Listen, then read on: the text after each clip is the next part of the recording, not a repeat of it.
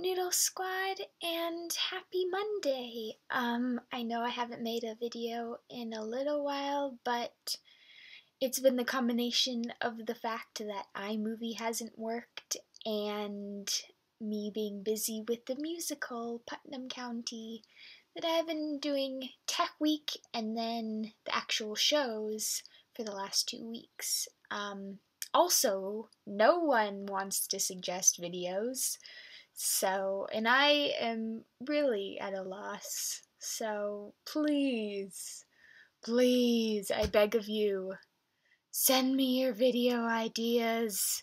Ugh. Anyways, so this week we are doing a bookish themed week, and so I'm going to be doing the ultimate book tag.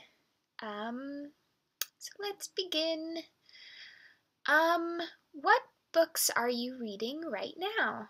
Well, Jane Eyre by Charlotte Bronte, and this book, How to Be a Heroine by Samantha Ellis. And I started these books kind of a while ago, but I just been really slow reading them just because of school and the play. So hopefully I now that I'm done with the play, I still have a lot of school stuff to do, but I'm on spring break. I will be able to get more into these, and I'm definitely doing a review on this book, so hopefully in the next few weeks I have that up. The next question is Do you have an idea of what you'll read when you're done with said books that I just listed? Um, I do. I actually just got this book um, my school was doing one of those events where they had a bunch of used books out and they were giving them away for pretty good prices. And so I found this, and it's um, The Life of Charlotte Bronte by Elizabeth Gaskell. And if you know, I do really like Elizabeth Gaskell. I've read Women, uh, Wives and Daughters and I really like that, and I'm planning on reading some of her other things, so I thought this was good because I'm interested in Charlotte Bronte as well. So, good. Next question. Um, what five books have you always wanted to read but haven't gotten around to? Wuthering Heights, The Cloud Atlas, um, As I Lay Dying, or anything by William Faulkner. I've wanted to read something by William Faulkner for a while, but I just haven't gotten around to it um, To Kill a Mockingbird. I just never, like, most people read that book in school, and I just never got the chance. And lastly, 1984. What is one book that you always recommend to just about anyone? Um, this one's pretty easy to me. I really like um, The Book Thief by Markus Zusak. And so, yes, if you have not read this, it's really good. I know some of you have. Um, but it's an interesting view of um, kind of the era around the Holocaust, World War II, and it's just I think it's really nicely written. I think you get attached to the characters, which is something that I always like in a book. And yeah, I think it just gives a new perspective on something that's been written about a lot. Um, where do you usually get your books? Um, I kind of go back and forth because for a while I had a Kindle and I just got a lot of my books on there. But I honestly really like having the copy with me because I like dog earing the pages and I like going back and reading things. And it's easier to, in a physical copy, because you can just be like, oh, I remember this passage from here that I want to read again. And it's harder to do that for me um, with the ebook version of something. Um, I do really like the um, paperback book exchange that they have. Um, that's really close to here, and I've I just recently went there, and I really like. Um, they have a lot of different books there, and it's a lot cheaper. Um, I go to Barnes and Noble when I can because Barnes and Noble is pretty great. Um, I know we all used to kind of just hang out in Barnes and Noble, and that was kind of nice.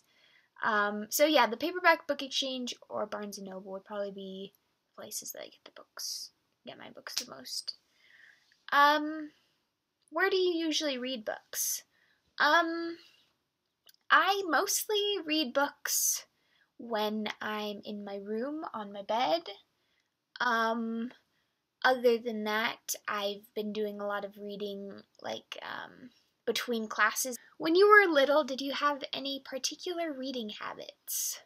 Um, when I was younger, I read all of the time. I was one of those kids that my mom would literally have to tell me like to stop reading um, because she wanted me to clean my room, and so she'd go tell me to clean my room, and I would come in my room and go under my bed and start reading. What is your favorite book when you were a child? I really liked um, the Chronicles of Narnia. That was like my childhood um, thing that I like. I connect to my childhood right away. Um, and I just read those books over and over. I you can see I have my copies of them and this this is like the original set that my grandpa got me when I was about I want to say in second grade and the spines are just all lined because I've read them so many times. Um, I want to say I for about the span of like second grade when I first got them and my grandpa read them aloud to me until like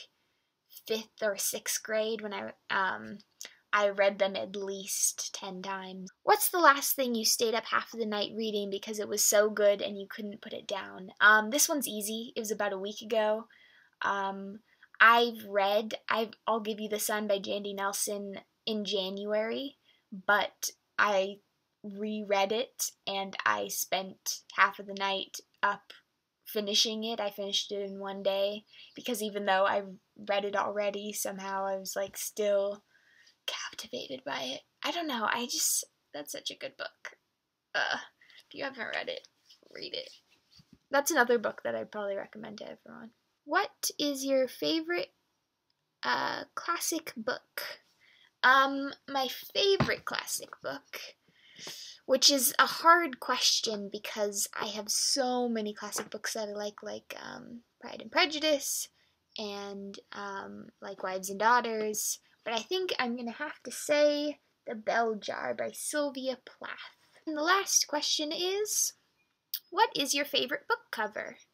Um, I honestly, I think one of my favorite book covers is This Is Why I'm Wearing This Shirt, is The Great Gatsby. Um, so yeah, that's my ultimate book tag video. Um, I didn't answer all of the questions, I kind of skipped over because there was a lot of them.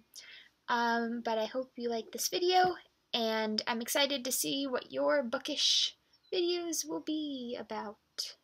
Um, have a good week. Bye. Ugh, I forgot how to YouTube.